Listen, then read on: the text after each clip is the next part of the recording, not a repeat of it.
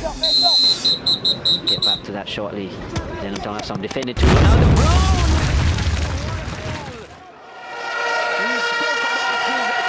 Well, I thought it was a very hard fought game. Um, two teams, it's a derby match, and therefore, as always, the emotions are tense and high.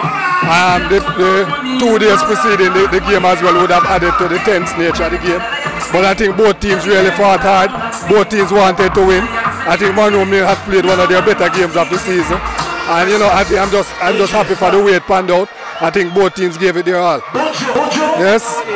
Yeah man, um, working on it, um, I think that we, we we always want to improve our facilities because we recognize that if we are going to develop our, our, the talent amongst our students, we have to provide them with the resources and the, and the facilities to develop.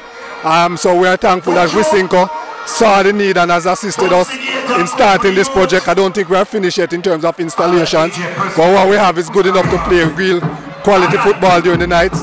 And what we want to do is to improve on this so that we can have live television games. I think that we have a very good chance. Um, we have the talent. I think we are probably the most experienced team in the competition, both in terms of the actual players on the field as well as our recent history. And that will count for a lot when it gets to the latter stage. If we can get them to remain focused and to be disciplined, play as a team, I think we will win.